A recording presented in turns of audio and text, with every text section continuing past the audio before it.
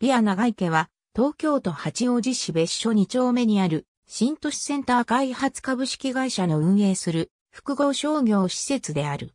1990年5月26日に開業。2011年5月19日に地上2階地下1階の新館がオープンした。本館ビア、長池オープン時に開店。2011年2月16日閉店。ビア、長池オープン時に開店。2010年閉店。3階ゲームセンター後に開店。2010年11月14日閉店。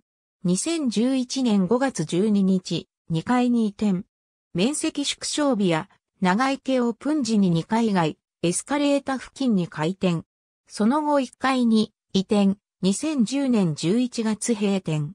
現在は八王子別所北交差点付近で移転営業中。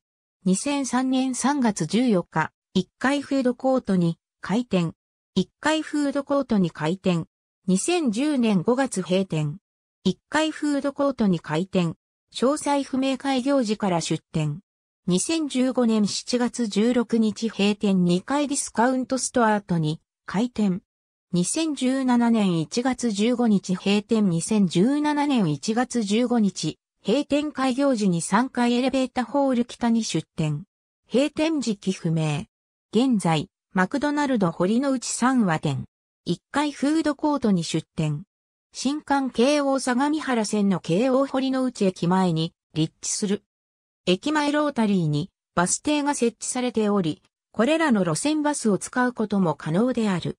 詳細は、京王堀之内駅路線バスの項を参照のこと。駐車場を約700台確保している。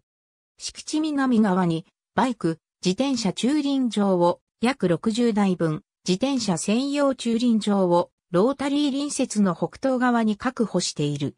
ありがとうございます。